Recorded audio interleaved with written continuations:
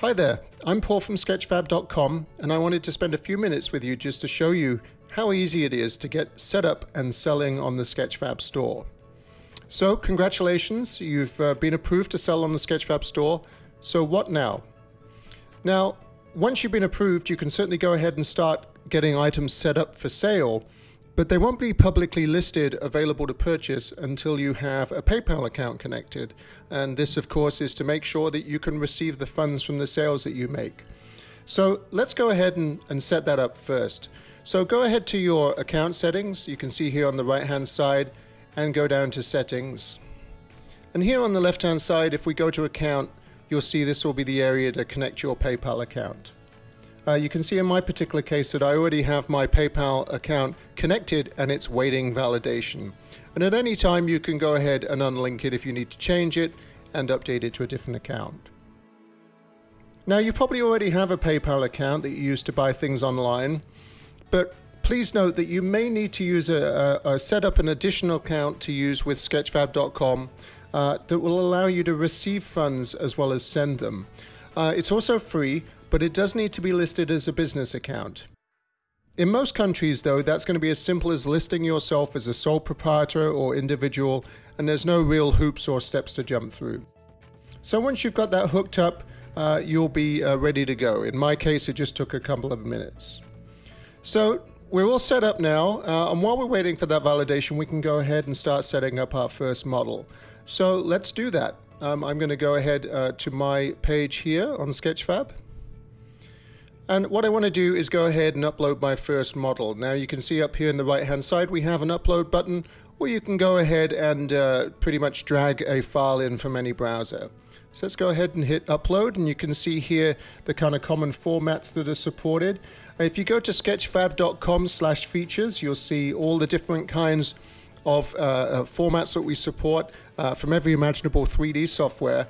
You can also see here it says um, tip, you can upload directly with one of our exporters from your 3D editor. So whether you're using Maya or Modo or Blender, Cinema 4D and so forth, uh, in, uh, in all of those cases, you can go ahead and download a free exporter and upload directly to Sketchfab without even having to, lose, uh, to leave your environment.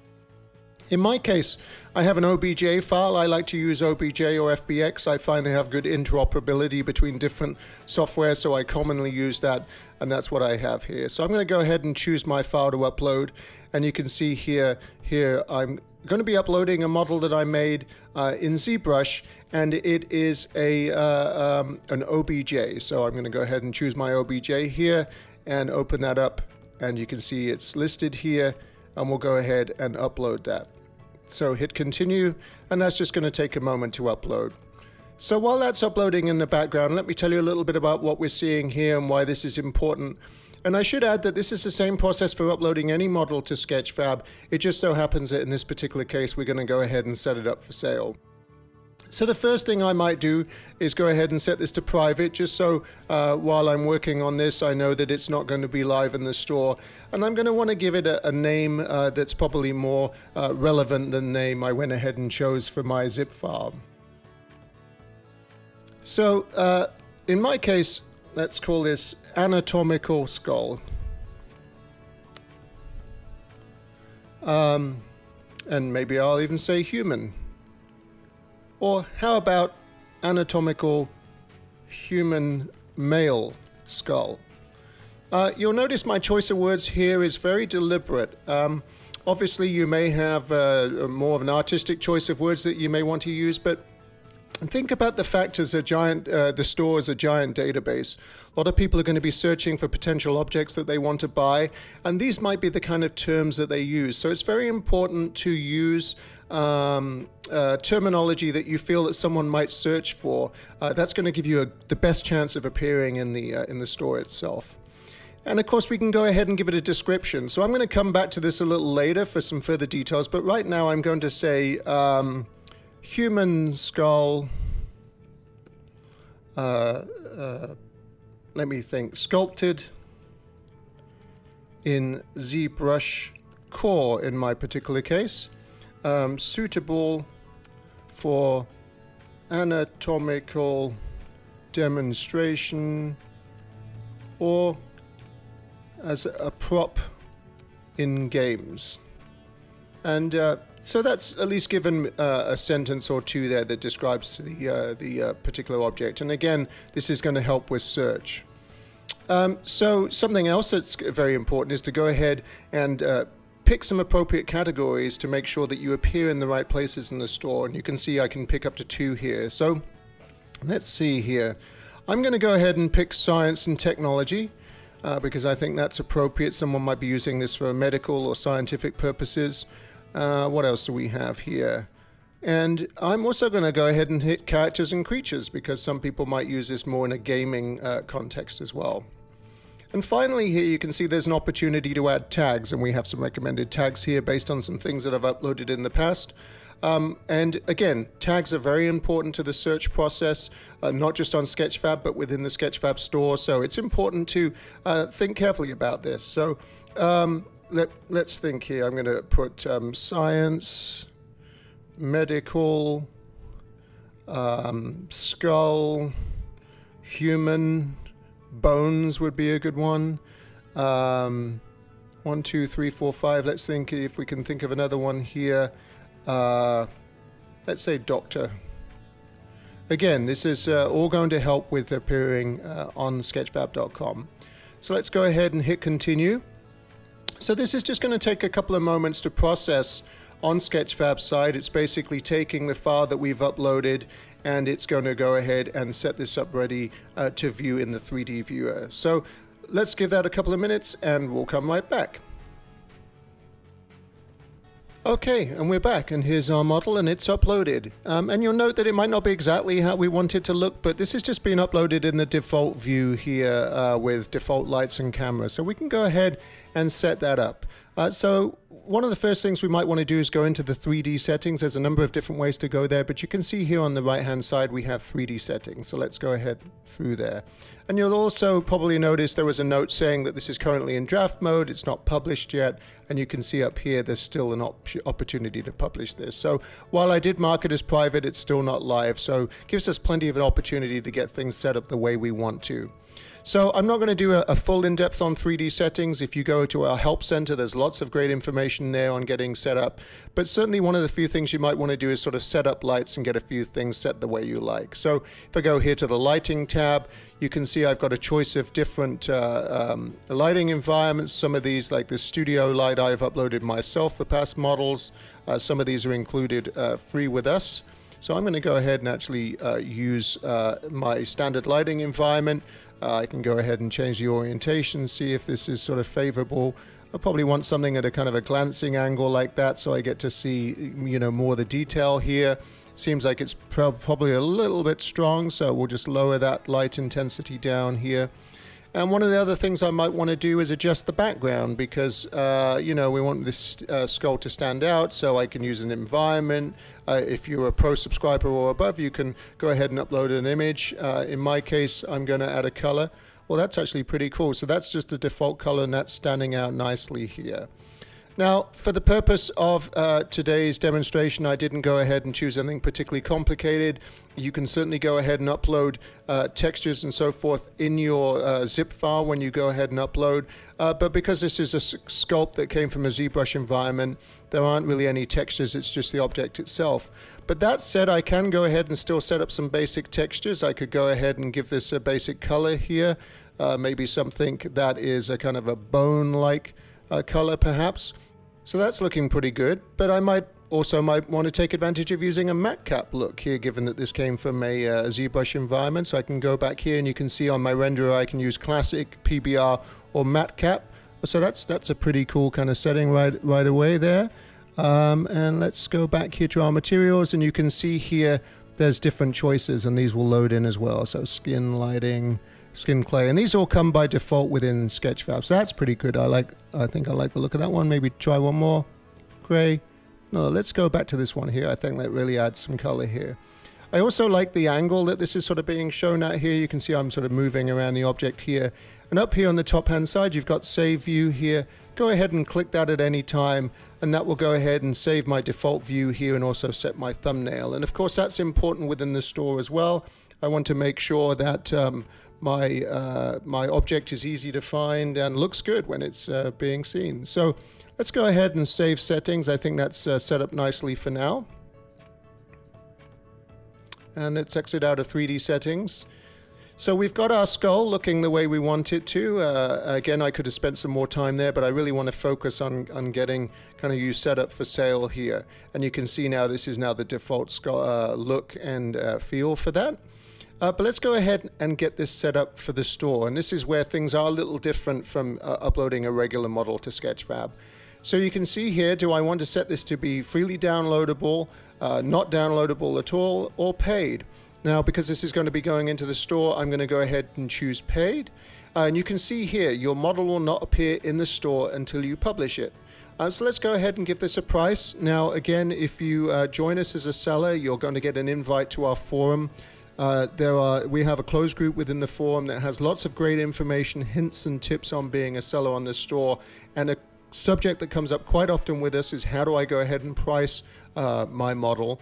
So we're going to go ahead. Uh, so I, I, recommend that you go and take a look at that um, because there's lots of great tips there on sort of pricing appropriately. And remember, of course, you can adjust your price at any time. I'm going to go ahead. And I'm going to price this at $15. And now I need to pick a license for it. Again, we have lots of great information on licensing, but this is very important. Generally speaking, there are these two licenses, standard and editorial. Uh, because this is an object that I, I made myself, sculpted myself, I own all of the rights to this piece of work, so I can go ahead and list this as a standard item. If I were uh, perhaps uploading some fan art or uploading maybe a model of uh, uh, uh, an iPhone or an Android phone or something that's branded that I've created the object but I don't own the intellectual property rights, I would go ahead and choose editorial in this case as well. Again, either one of these options is suitable for sale. In my case, standard is fine. So let's go ahead and save changes. So that's the changes saved. Um, but also important here, you'll see you have an opportunity here to upload an additional file. Now, you may have noticed when I was uploading my OBJ that I uh, uploaded an OBJ file that was listed as decimated. Uh, in that particular case, what I wanted to do is upload something that I knew would, would display nicely on Sketchfab and on mobile devices and be really great in the viewport. And of course, folks can come in here and zoom and get a strong sense of what it is they're purchasing here. Um, but I actually want to upload the original high resolution file as well and some additional files. So let's go ahead uh, to upload file. And actually, I'm just going to go uh, briefly to my desktop here. Um, let's see, to the Finder. And you can see I've created this additional file here. I've got the decimated OBJ that I went ahead and uploaded. And then I've got another OBJ file that is the original 3 million vertices, which is not decimated. And I also have the Skull uh, uh, uh, ZBrush project file as well here. So this is a great opportunity to go ahead and provide different kind of formats uh, for uh, anybody who purchases your file uh, so that they're getting kind of bonus materials, so to speak. And I've gone ahead and I've added these to a zip file. So let's go back over here and I'm going to go ahead and upload that file. And here we are. If we go back out to the desktop, uh, and there is my zip file. I'm going to go ahead, open that, and upload that. So that's now going ahead and uploading. Um, you can you'll um, you'll see that we actually uh, have different uh, accepted formats. We do do a certain amount of processing on our side to kind of look inside that file and list uh, what is available. But it's also a great opportunity uh, to go ahead and um, provide further information to the buyer. Again, we want to do everything we can to make sure that our sale is successful. We're obviously giving folks an opportunity to, to view our model in the viewport, uh, but anything we can do to help convince them that this is the right sale can help as well. So I'm going to also go ahead and add some of that additional information to my description down here as well, so that in addition to the model information, which is coming in as standard here, I can go ahead and add the description. Um, while I'm uh, waiting for this to upload, one thing that's also worth noting is remembering that we have our model inspector, and this is really something that really makes the store unique, is the opportunity to go ahead and preview the model. Uh, in this case, because we don't have any texture maps associated with it, and we're using uh, matcap texture, the uh, the options here are relatively uh, limited, but it's still a chance for somebody to kind of zoom in here and get a look at that geometry. And we'll go ahead and put final render here. And if I did have any uh, uh, textures here, I would be also be able to preview them here as well. So that's a great uh, chance to really allow somebody to see your work. So that zip is just going to take a few minutes to upload. So let's give that a, a, a moment and we'll be right back. Okay, and we're back, and you can see that that's uploaded here and the changes have been saved. So uh, again, this is not live yet. It's still uh, yet to be published. Um, I went ahead at the beginning and set this to private. I'm going to go ahead and edit that now. I'm going to turn privacy off. And while I'm in here, now that I've uploaded that file, as I mentioned, I think this is a great opportunity to provide anything that I think is going to be additional information for the buyer. So I'm going to uh, say the following. Um, preview uh, shows decimated uh, uh, version of the skull. Uh, skull. Extras uh, files include original mesh and ZBrush project file. That might be handy for somebody who wants to bring this in directly into ZBrush itself go ahead and save that. You can see here I'm getting a thumbs up for my discoverability because I've given it a title, description, uh, categories, and tags here. And you'll notice you can also go ahead and attach images uh, to your uh, and use some basic formatting to your description here as well. So that anything you can do to provide some uh, in, uh, additional information is going to help. So let's go ahead and save that. And here we are. Again, one last reminder, your store, uh, your model will not appear in the store until you publish it. Let's go ahead and publish the model. Your model has been published. Congratulations. And here is a link uh, to go ahead and see it.